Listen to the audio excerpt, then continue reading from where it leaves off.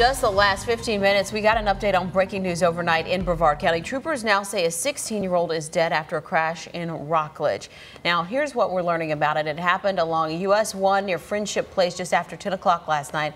Troopers say 16-year-old Kentrell Welch of Cocoa died when the car he was riding in crashed into a semi near a construction zone. The driver of that car, who is also 16, suffered minor injuries, and the cause of the crash remains under investigation.